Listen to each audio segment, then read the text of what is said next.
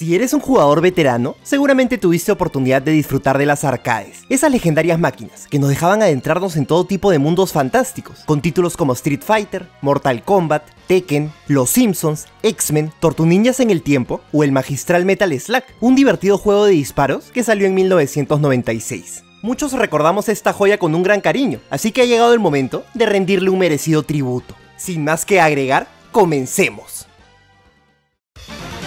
El juego nos transporta al futurista año de 2028, donde el malvado general Morden ha lanzado un sorpresivo y devastador ataque contra las fuerzas del orden, conquistando territorios y países sin encontrar resistencia alguna, y quedará en manos de dos soldados, los aguerridos Marco y Tarma, el hacer frente a esta amenaza y restaurar la paz en el mundo. La historia es bastante coherente y entretenida, pero al final de cuentas, el juego se resume en algo muy simple, asesinar a miles de soldados y destruir todo lo que encontremos en nuestro camino. Lo primero que llama la atención es su estilo gráfico único y divertido, con hermosos sprites dibujados a mano y una violencia extrema, lo que da como resultado un juego lleno de carisma y humor.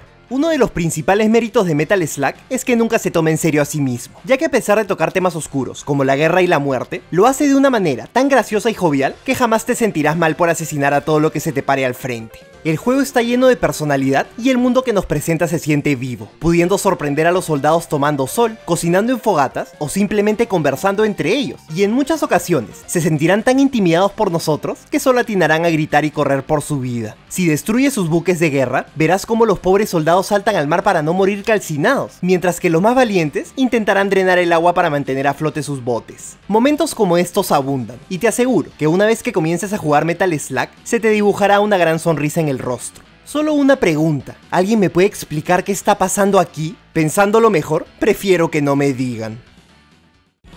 Todos sabemos que un juego no puede sobrevivir únicamente con carisma, ya que siempre se necesita de una buena jugabilidad que lo acompañe, y por suerte, Metal Slug cumple a cabalidad en este aspecto. Los controles son increíblemente fluidos y muy precisos, y resulta un verdadero placer pasearnos por los niveles eliminando a nuestros contrincantes. Comenzaremos con una pistola básica, pero no pasará mucho tiempo antes de que consigamos armas mucho más potentes, lanzamisiles que destruyen todo a su paso, poderosas escopetas que desintegran a los soldados, lanzallamas que los achicharran o mi favorita, la popular Heavy Machine Gun. que nos permite acribillar y traspasar a nuestros enemigos como si estuviesen hechos de papel. Además, estaremos equipados con unas potentes granadas y nuestro confiable cuchillo de guerra, que nos ayuda a descuartizar a nuestros enemigos como si fuésemos el mismísimo Rambo. Y por si todo esto no fuera suficiente, también podremos treparnos en unos poderosos tanques de guerra, los famosos Metal Slugs, que están dotados con un par de letales metralletas y un cañón gigantesco, ideal para hacer frente a cualquier peligro. Con todo lo que les acabo de decir, podría parecer que los soldados enemigos están en una severa desventaja, pero nada podría estar más alejado de la verdad, ya que nos atacan en grupos enormes y con todo lo que tengan a su disposición, desde granadas, lanzacohetes, helicópteros, aviones de guerra o tanques, y para colmo de males, irán aprendiendo nuevos trucos, como estos inteligentes oponentes, que vienen equipados con unos escudos que los protegen de las balas. Veremos a nuestros adversarios caer del cielo en paracaídas, intentar aplastarnos con bolas de nieve o atrincherados en enormes fortificaciones de guerra. ¿Y sabes qué es lo peor de todo esto? Hasta el más mínimo de los descuidos te costará una apreciada vida, ya que en Metal Slug morimos de un solo golpe, tal como ocurre en la difícil saga de Contra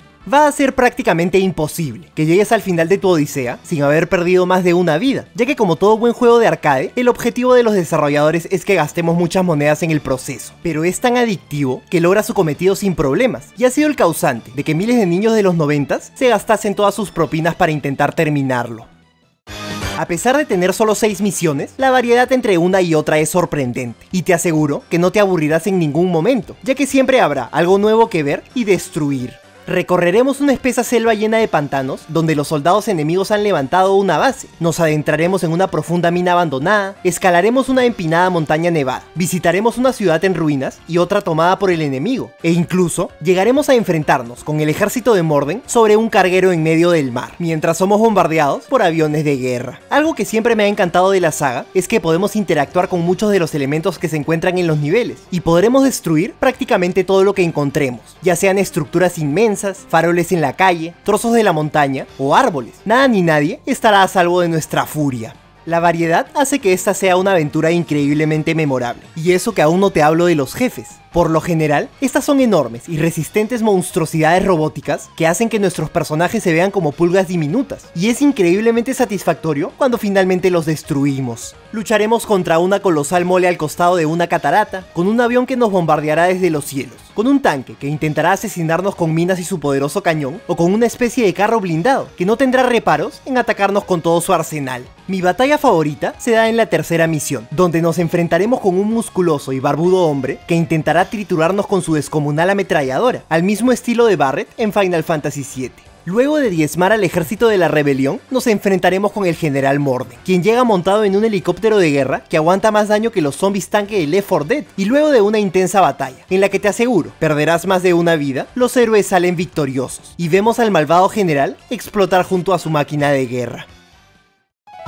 De pequeño, no había nada más divertido que irme con algún amigo a las arcades, comprar un cerro de monedas y sumergirnos en el fantástico universo de Metal Slug, rescatando rehenes que parecían hippies, peleándonos por las mejoras y destruyendo todo lo que encontrábamos en nuestro camino. Y no importa cuántos años hayan pasado, desde que jugué esta joya por primera vez, la diversión siempre está ahí. Si aún no le has dado una oportunidad a esta saga, no sé qué estás esperando. Te aseguro que no te vas a arrepentir. Si te gustó el video y quisieras ver la crónica del segundo juego, vota dejando tu pulgar arriba y un comentario. Si llegamos a un número interesante de pulgares arriba en el video, sabré que les gustó lo suficiente y que cuento con su apoyo para seguir con las crónicas de Metal Slug. Así que ya lo sabes, de ti depende que continuemos con las crónicas de esta increíble saga. No te olvides de suscribirte al canal y revisar mis otros trabajos, con eso me ayudas mucho para seguir produciendo videos como este. Pepe el Mago se despide, nos vemos en un próximo episodio.